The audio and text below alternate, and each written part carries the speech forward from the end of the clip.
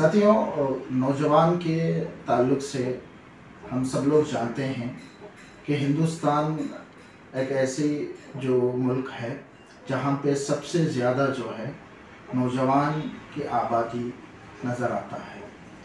कुल हिंदुस्तान में 70 परसेंट ऐसे लोग हैं, उनके उम्र जो है 40 साल के कम है। तो एक बहुत बड़ी एनर्जी है इस समाज में नौजवानों की पाया जा रहा है। और उसके साथ साथ जो है, नौजवान जो है, बहुत सारे कॉम्प्लेक्स का शिकार है। एक तो है कि मायूसी उनके अंदर बहुत ज़्यादा है, क्योंकि हालात या उनकी अलग अलग मसाइल है, माशी मसाइल है, बहुत सारे मसाइल जो है, उससे एक तरह की जो है, मायूसी जो है नौजवानों के अंदर पाया जाता है।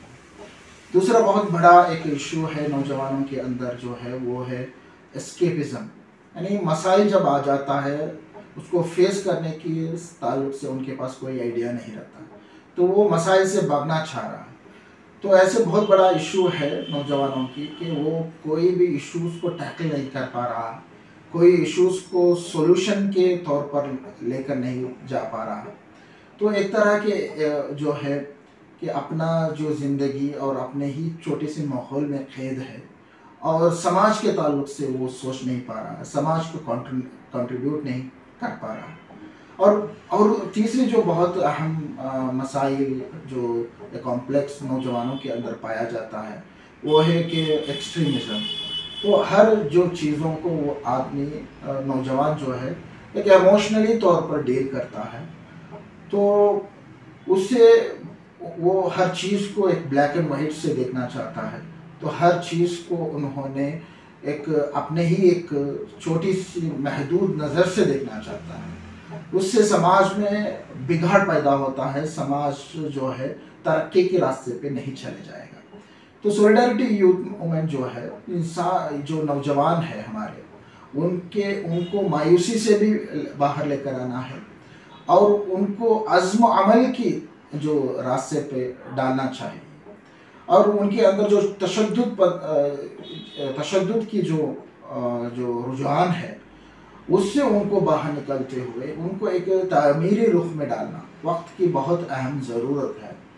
और समाज की तश्कील के लिए, समाज की बेहतरी के लिए ये क़वत को सही दिशा में डालना और सिर्फ़ एक रिएक्शनरी उम्मत के तौर पर नहीं, बल्कि हम जो है एक इल्म के बुनियाद पर काम करने वाले नौजवान की हैसियत से समाज में पेनिट्रेट करें।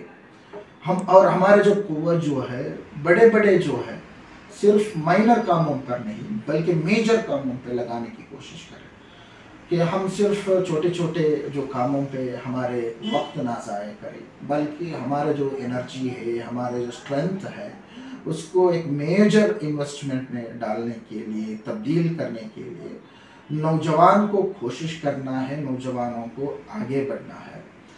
तो अल्लामा इकबाल के एक शेर है मशरक से हो बेजार ना मगरब से हजर कर। फितरत का इशारा है हर शब्द को सहर कि मगरब में मशरक में क्या भी अं, अंधेरा छाया है तो उससे बेजार होने की ज़रूरत नहीं है। हर जगह में नाइंसाफ़ी है हर जगह में मसाइल है। लेकिन इकबाल कहते हैं कि फितरत का इशारा है हर शब को सहर कर तुम्हारा काम क्या है कि हर जो अंधेरा है, उसको मिटाने की काम है। हर जगह में रोशनी बने, हर जगह में हम लोग टॉर्च टॉर्च बने, हर जगह में जो है हम जुगनू बने, जहाँ पे जो है हमारे रोशनी की ज़रूरत है, हमारे मेहनत की ज़रूरत है, हमारे कोशिशों की ज़रूरत है, उन तमाम हैसियत से हम जो है समाज की एक रहनुमाई के तौर पर, समाज को कंट्रीब्यूट करने वाले नौजवानों के तौर पर हमको उभर के आना है। यही बातों के साथ मेरे गुफ्तु का ख़त्म करता